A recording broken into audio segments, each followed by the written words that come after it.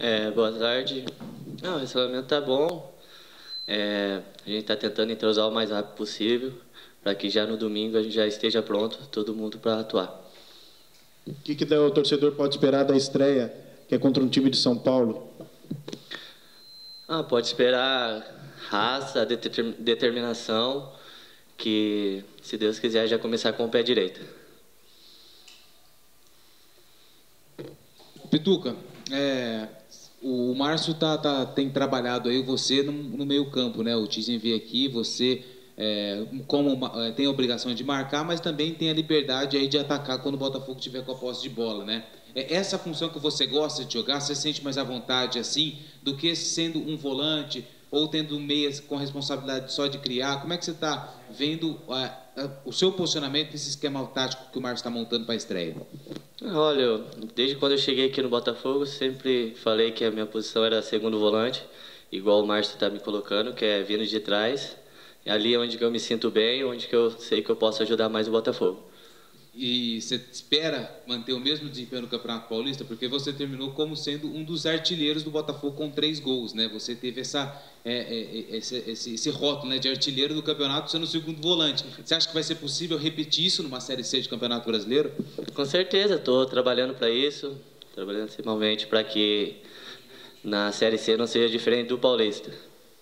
É, e estreia, né? Você chegou aqui, vai fazer um ano já. Você estava, é, antes de vir aqui na Matonense, que na época tinha sido rebaixada para a Série A3, e viveu uma, uma nova fase aqui no Botafogo. Acesso, título, com uma experiência negativa, mas que no final acabou dando certo com o Botafogo. E agora para a Série C? Como é que você está, é, toda essa bagagem que você já tem no Botafogo, para esse início de competição?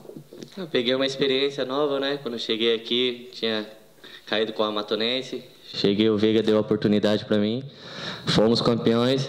Pelo meu primeiro paulista fazer três gols, não esperava, mas graças a Deus consegui. Agora espero na Série C ser totalmente diferente para que possamos conseguir esse acesso. Ô Pituca, a gente percebe que você não, não, é muito chegado a falar, né? Você responde tudo rápido, suas respostas são as mais curtas, acho que de todos os jogadores do Botafogo. Mas você já está falando bem melhor é, quando, com relação ao aquele momento que você começou a dar entrevista, tal, que você era muito tímido. Ainda é um bicho de sete cabeças para você é, dar, dar entrevista ou não? Você está falando bem mais solto mas ainda fala tudo muito rápido, parece que você quer se livrar logo. Conta essa história pra gente. É, eu tinha um pouco de medo, né? Pensei de ficar falando. Mesmo na, lá fora, eu também não gosto de ficar falando muito, mas agora tô me soltando mais e tentando responder o mais rápido possível para não dar uma gaguejada. Mas como é que você está soltando? Os companheiros lá falam, é, te pressionam para não quebrar, porque lá dentro do vestiário os caras vem tudo, né? Sabe de tudo que acontece. Aí se você quebra aqui, você vira motivo de piada lá dentro? Também isso, mas é mais em casa também que a minha namorada pega um pouquinho no pé para me soltar mais, mas é um pouquinho eu estou me soltando e já que sai normalmente. Além de, de se ter soltado mais entrevista, o que, que mudou do Pituca que, aqui, que chegou aqui no Botafogo e que vai disputar a Série C? Não, igual eu falei, eu peguei mais experiência, mais bagagem, estou é, um pouco mais solto agora, tentando mostrar meu futebol e está acontecendo, naturalmente. Quando você chegou era o Veiga, né? E o Veiga meio que te adotou, né? Te, te tratou como um filho, punha para você para jogar. Muitas vezes é, criticavam, ah, vai jogar com o Pituca do lateral esquerdo, tem o outro. E ele não confiava em você, colocava você para jogar e você sempre deu conta do recado. Agora está o Márcio. É o mesmo tratamento que ele tem, que ele te dá quando era o Veiga. Você vê que ele é um cara que é, não passa tanta mão na cabeça. Qual que é a diferença dos treinadores, na sua opinião? Acho que o Veiga era um pouquinho mais duro, né? O Márcio é um pouquinho mais solto, gosta de conversar mais.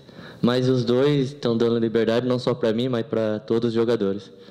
Ainda tem essa possibilidade de você também atuar na esquerda, porque o Botafogo tem o Mike, tem o Augusto, é, e tem você que quebra esse galho. Você ainda está à disposição? Você se colocou à disposição para o Márcio caso ele não tenha nenhuma das duas peças aí da, da posição? Olha, se ele não tiver nem o Augusto, nem o Mike, estou ali à disposição dele para ajudar o Botafogo, seja de volante, seja de lateral, onde que ele precisar.